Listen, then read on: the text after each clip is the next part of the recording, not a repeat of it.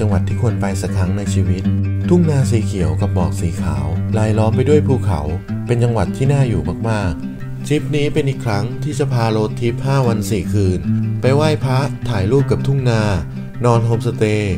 ดิบกาแฟชมหมอกตอนเช้า โดยเราจะเดินทางไปทั้งหมด5อำเภอ บอกเลยว่าแต่ละสถานที่ห้ามพลาด และที่พิเศษไปกว่านั้นสำหรับทริปนี้เราเดินทางมากับ vivo x70 pro 5g สมาร์ทโฟนตัวใหม่ล่าสุด มาพร้อมกับฟังก์ชันต่างๆ ที่น่าใช้งานมาก โดยเฉพาะคนที่ชอบถ่ายคลิป รุ่นนี้จะมีกิมบอลการสั่นให้ด้วย และสำหรับคนที่ถ่ายภาพในที่แสงน้อย รุ่นนี้ก็สามารถทำได้ดีเลย นอกจากนั้นยังมีฟังก์ชันอื่น ๆ ที่น่าสนใจอีกเพียบ มาดูกันว่าน่านทิปนี้กับ vivo x70 pro 5g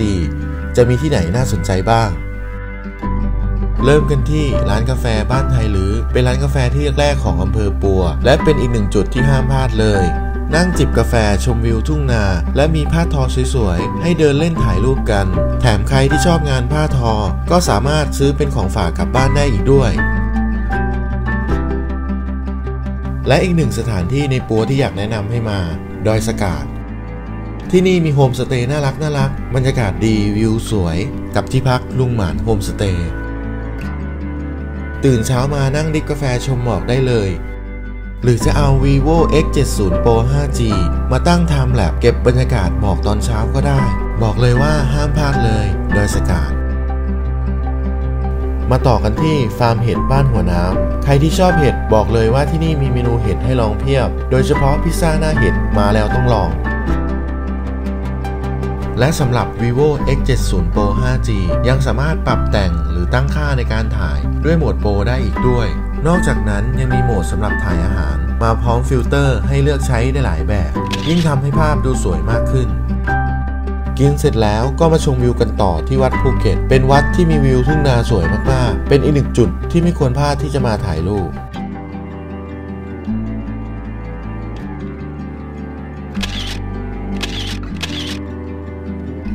และใกล้กันมีอีกหนึ่งจุดที่เหมาะกับการเอา vivo x70 pro 5g ไปถ่ายรูปมาก คือคาเฟ่นาเขาเหลาน่านเป็นคาเฟ่ที่น่ารักมาก มีมุมถ่ายรูปให้เพียบ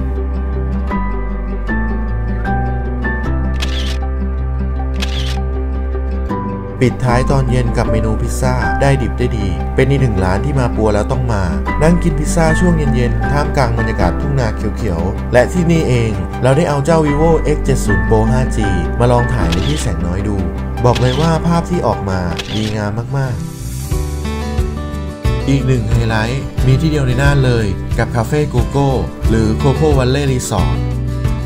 บอกเลยว่าคนรักโกโก้ไม่ควรพลาด ที่นี่มีเมนูที่ทำจากโกโก้เยอะมาก พร้อมห้องพักวิวสวย กับการทำเวิร์กช็อปทำช็อกโกแลต รวมไปถึงการเดินชมสวนโกโก้ และสามารถเอา vivo x70 pro 5g ไปลองถ่ายโหมด 50mp เพราะในสวนมีจัดมุมให้นั่งถ่ายรูป และชิมโกโก้สดๆจากสวนได้เลย จากนั้น ขับรถไปกันต่อ ลัดรอบภูเขาผ่านถนนลอยฟ้า 1256 ขึ้นดอยภูคาไปชมวิว ถ่ายภาพทะเลหมอกที่จุดชมวิว 1715 ปลายทางคือหมู่บ้านสปันอำเภอบ่อเกลือ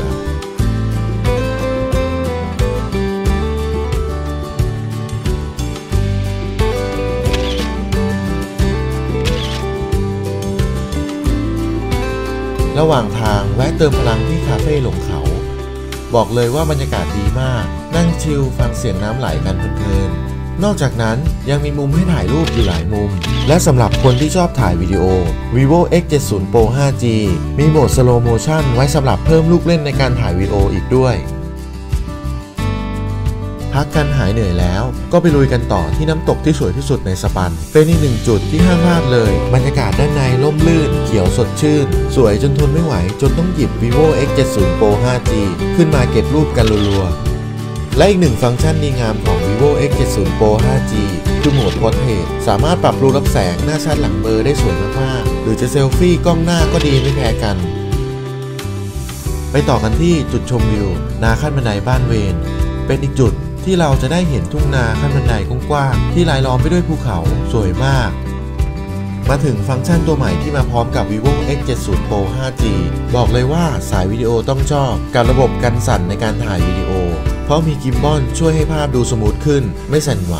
ถ่ายง่ายขึ้น เหมาะกับสายเที่ยวแบบเรามาก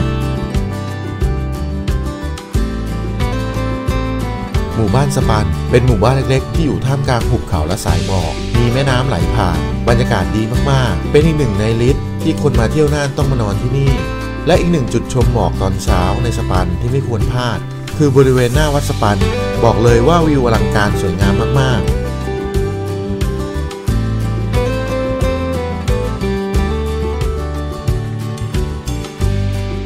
ก่อนลงจากอำเภอบ่อเกลือ อย่าลืมแวะชมบ่อเกลือโบราณที่มีอายุหลายร้อยปี เป็นอีกหนึ่งจุดที่ไม่ควรพลาด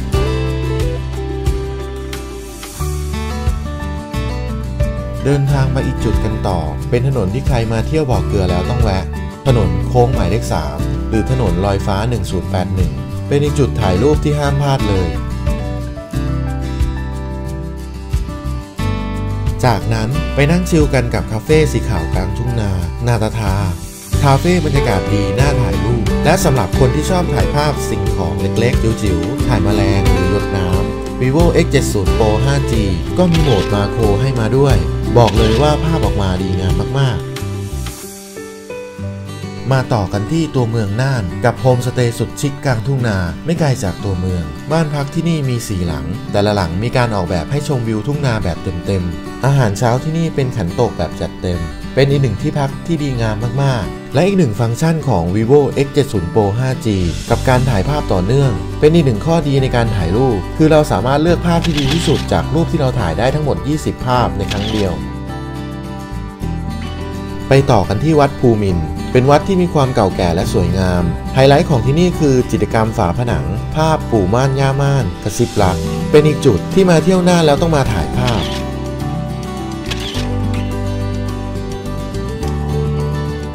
มาน่านทั้งที อย่าลืมไปไหว้ศาลหลักเมืองที่วัดมิ่งเมือง ไฮไลท์ของที่นี่จะเป็นสีขาวทั้งหมด รวมไปถึงตัวโบสถ์ด้วย เป็นอีกจุดที่น่าถ่ายภาพมาก ๆ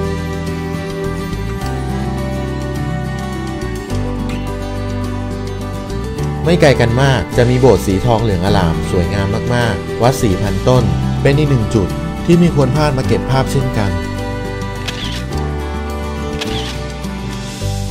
แวะมาพักเหนื่อยกับคาเฟ่สไตล์ญี่ปุ่น feel เหมือนชนบทญี่ปุ่น บรรยากาศดีงามท่ามกลางทุ่งนา สายคาเฟ่บอกเลยว่าต้องมา มุมถ่ายรูปเพียบ ปิดท้ายทริปด้วยวัดพระธาตุเขาน้อย อีกหนึ่งไฮไลท์ของน่านที่ต้องมา เป็นพระพุทธรูปยืนหันหน้าไปยังวิวเมืองน่าน จะมาช่วงเช้าหรือเย็นก็ได้ ถ้ามาตอนช่วงเย็นก็จะเห็นแสงไฟในเมืองสวยมาก ยิ่งถ่ายด้วย vivo x70 pro 5g ด้วยโหมดกลางคืนหรือ night mode ยิ่งทำให้ภาพสวยคมชัดมาก นอกจากนั้นยังสามารถถ่ายดาวหรือพระจันทร์ได้อีกด้วย และสำหรับโหมดนี้ยังมีฟิลเตอร์สวยๆให้เลือกใช้อีกด้วย บอกเลยว่าน่านยังมีที่เที่ยวให้น่าไปอีกเยอะมาก ที่รอให้ทุกคนไปสัมผัส และนอกจากสถานที่สวยๆของน่านแล้ว ก็มี vivo x70 pro 5g นี่แหละ ที่อยากให้ทุกคนได้ลองใช้ เพราะมีฟังก์ชันต่างๆ ที่ตอบโจทย์สายเที่ยวแบบเรามาก เป็นอีกหนึ่งสิ่งที่มีไว้เก็บประสบการณ์และภาพความทรงจำดีๆ ในแต่ละทริปเที่ยวของเราได้ แล้วมาเที่ยวน่านกับ vivo x70 pro 5g กันนะครับ